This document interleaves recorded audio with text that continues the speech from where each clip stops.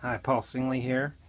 Uh, what I fixed today was I have these custom keys on my keyboard that I have set up with some AutoCAD commands. And originally I, I put them up here in this little template, but I keep having to look up there and look back down at my keyboard to make them to uh, hit the right key. So I got out the P-Touch and made some labels here that I stuck right to the keyboard. Now I just have to look down at them instead of looking up at my template. Bye!